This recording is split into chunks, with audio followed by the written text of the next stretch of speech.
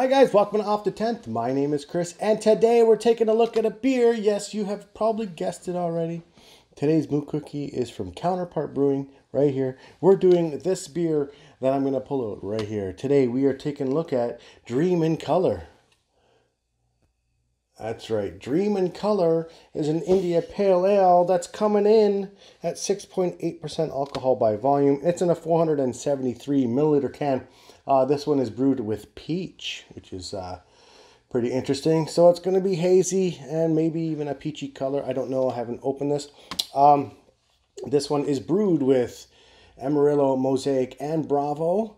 And yeah, and like I said, it has peaches in it. So we'll see what it's like. Um, I'm excited to try this one. This beer was canned two days ago. Today's the 16th of May. This was canned on the 14th with a little stay safe on the bottom. So let's take a look at this one. I don't even know why I'm rolling it right now, but why not?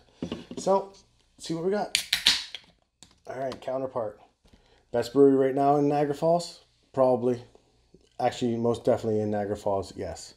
One of the best breweries in the Niagara region for sure right now. Look, look at the haze. Look at the haze.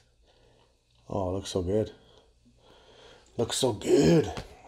Dream in color. I didn't pour the whole thing. I wanted to um, take a photo of it later. Okay, so this one is hazy, murky, turbid. Oh, dirty glass mafia there. Joe would not approve. Anyway, that's what we're looking at. Sure. Okay, let's look at the head on this one. is just an off-white. It's going into a yellow kind of hue on the head on this one. Uh, pour it off with a half finger head and pour it really aggressively. Uh, this is actually really cold. I just pulled it out of the fridge like literally two seconds ago. So I'm excited to try this one. Uh, other than that, it's very, very hazy and murky looking. All right.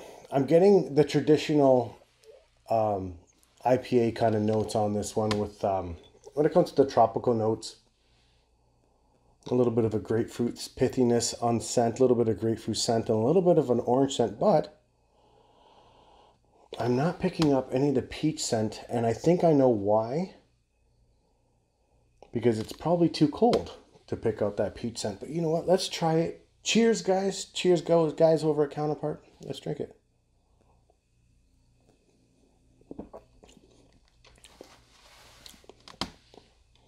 Okay.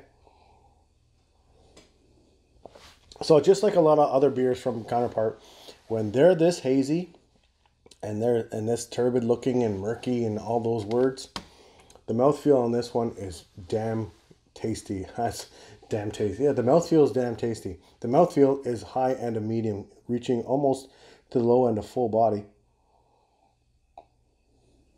Mm-hmm. Which is actually really, really nice for it being 6.8%. Yeah, it's smooth, it's creamy, not very effervescent, which is cool with me. I mean, there's tons of oats and definitely tons of oats in this one and uh, tons of wheat just to give it that big body. And with that, it's not super spritzy, but it is freaking, it's carbonated, but not overly carbonated. I guess that's what I'm trying to mumble out of my mouth, out of my mouth hole. Anyway, let's talk about the taste. Okay. There's peach in it. There's not it's not like super heavy peach like sour peach or even kind of like like a sweeter peach or anything. It's in there but it's very dialed back. It again it's probably because i'm drinking this room really cold but you know what? I'm getting it. Now i'm getting it on the back end of the palate here not the, at the very end of the taste. I'm picking up a little bit more of that peach. I'm 100% guarantee that this is going to be a little bit more peachy once it starts warming up a little bit. Um, other tastes on this one? Uh, yeah, I'm picking up a lot of the citrus. I'm picking up a lot of a grapefruit kind of a hint on this one. Flavor, a little bit of pithiness.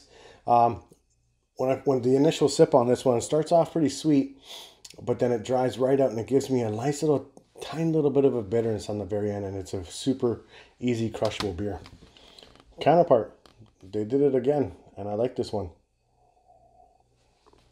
Kind of wish I did scores, but I'm not going to do any scores because this is just a Moo Quickie, and in my own opinion, guys, get up the counterpart.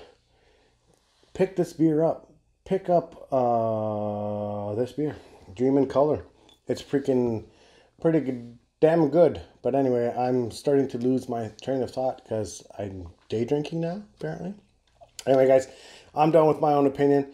Guys, let me know if you guys have tried this. If you have, let me know down in the comments. And uh, if you plan on trying it, come back, let me know. Other than that, like the video, subscribe, hit that notification bell, guys, and I will talk to you guys later. Peace out.